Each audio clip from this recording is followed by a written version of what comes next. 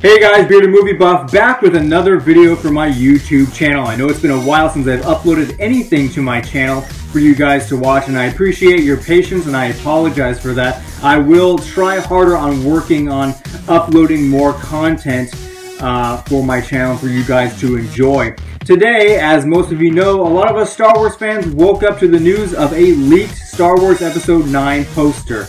Now, this leak may have been intentional or unintentional, but there's a lot going on in the poster, and I thought I'd like to talk about it with you guys here on my YouTube channel. If you haven't seen the poster by now, let's go ahead and take a look at it together.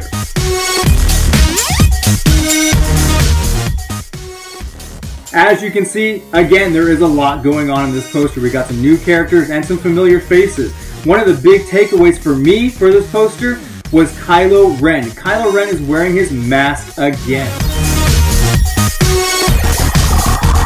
Now, obviously in episode 8, we see him destroy that mask. However, I feel like that's kind of what made him intimidating. Once you get rid of the mask, he's nothing but a whiny kid. There's not much to him, and there's really not much to the First Order as well. It's just a bunch of guys running around screaming and yelling. So I'm very happy to see Kylo wearing his mask again.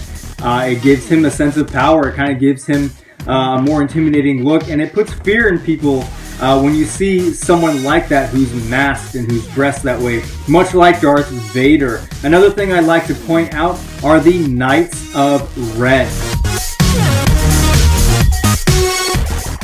Yes, the Knights of Ren are seemingly going to be in this next Star Wars installment since they are uh, on this poster. And I'm very thankful for that because they were supposed to be in episode 8, but of course Rian Johnson took them out. So it'll be interesting and very cool to see the Knights of Ren in action. Another thing uh, was I thought was very interesting actually was seeing C-3PO on this poster holding a bowcaster. Now, this is not necessarily the first time we see C-3PO holding a weapon of any type. In episode 2, Attack of the Clones, he was in battle. Now, obviously, that wasn't his body. Uh, his head was on a battle droid's body, so that body was programmed to go into battle. The body was programmed to fight. So we did see him somewhat in action in that movie. But this poster implies, look, this is C-3PO. This is his body. This is him holding a weapon. I wonder if that means he's going to go into battle. Droids are going to have to step up a bit and do some action. Who knows? I would love to see where that's going to go.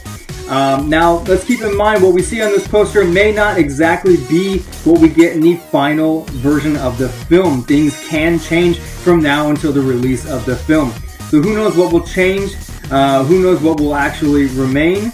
Uh, that's why I kind of I'm hesitant about being committed about what I see on this poster right now.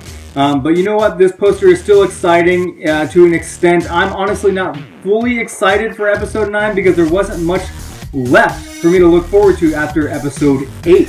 Everything just kind of ended, just kind of died.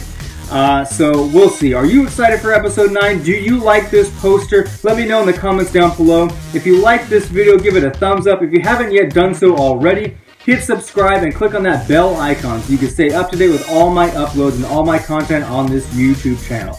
The Star Wars Episode 9 poster leak. What do you guys think? Let's talk about it. Thanks for watching this video. I'll see you guys next.